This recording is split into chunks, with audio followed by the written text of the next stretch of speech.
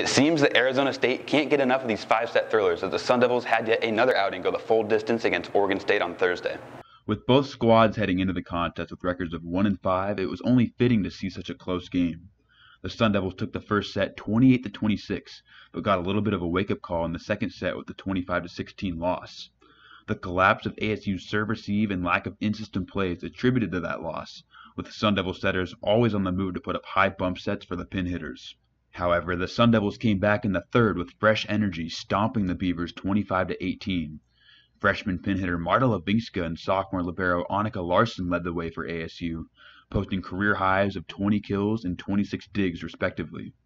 They carried that caliber of play into the fourth set where they gave it their all but fell to OSU 29 to 27. It all came down to yet another fifth set. The two young teams battled until it was tied up at 11-11, but the Beavers pulled away with four unanswered points to win the match 15 to 11.